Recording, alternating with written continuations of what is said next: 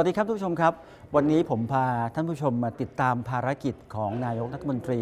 ในโอกาสการเดินทางมากรุงวอชิงตันดีซีเพื่อเข้าร่วมการประชุมนิวเคลียร์ Security Summit นะครับ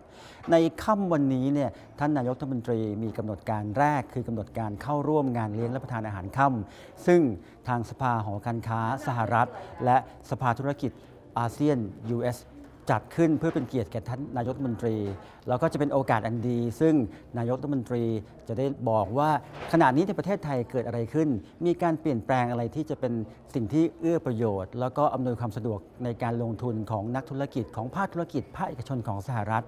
วันนี้หลาย ๆ เรื่องต้องบอกว่าประเทศไทยกำลังถูกจับตามอง เนื่องจากว่าสภาพสภาพเศรษฐกิจของโลกเนี่ยอาจจะซบเซาไปบ้างนะครับ ประเด็นหลัก ๆ ที่จะมีการพูดคุยกับ ภาคธุรกิจของสหรัฐในวันนี้ ก็คือยกตัวอย่างเช่นนะครับ สิ่งที่เขาต้องการรู้ เพื่อเป็นการสร้างความมั่นใจว่าสหรัฐกับไทยเนี่ยยังเป็นคงยังคงเป็นประเทศที่มีศักยภาพในการลงทุนร่วมกันอยู่ วันนี้นายกรัฐมนตรีจะบอกถึงโครงการต่างๆ ที่เกิดในประเทศเกิดขึ้นในประเทศไทยไม่ว่าจะเป็นเรื่องของการ พัฒนาโครงสร้างพื้นฐาน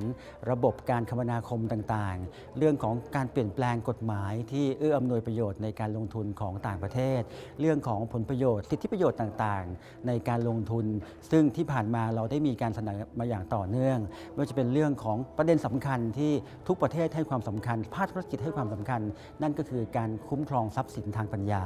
นะครับสิ่งเหล่านี้จะได้มีการบอกเล่าในการพบปะกันในงานเลี้ยงอาหารค่ำแห่งนี้ และแน่นอนครับ สิ่งเหล่านี้หรือข้อมูลเหล่านี้จะเป็นเรื่องราวที่สร้างความเชื่อมั่น แล้วก็ความมั่นใจให้กับภาคธุรกิจของสหรัฐที่จะมีต่อประเทศไทย แล้วก็ยังคงยืนยันที่จะลงทุนในประเทศไทยต่อไปครับ